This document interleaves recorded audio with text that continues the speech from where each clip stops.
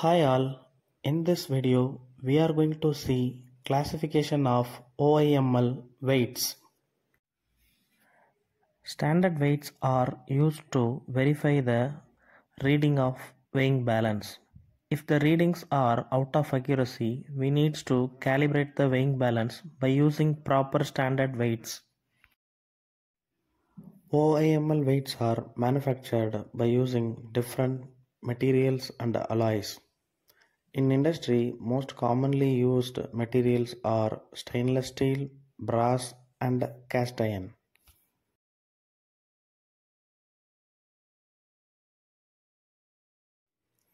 OIML weights are mainly classified into three types.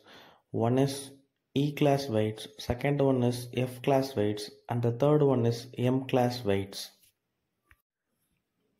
Here E stands for extra fine accuracy weights, F stands for fine accuracy weights, and M stands for medium accuracy weights.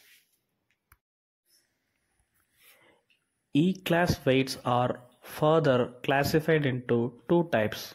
One is E1 class and another one is E2 class. F class weights are further classified into two types. One is F1 class and another one is F2 class.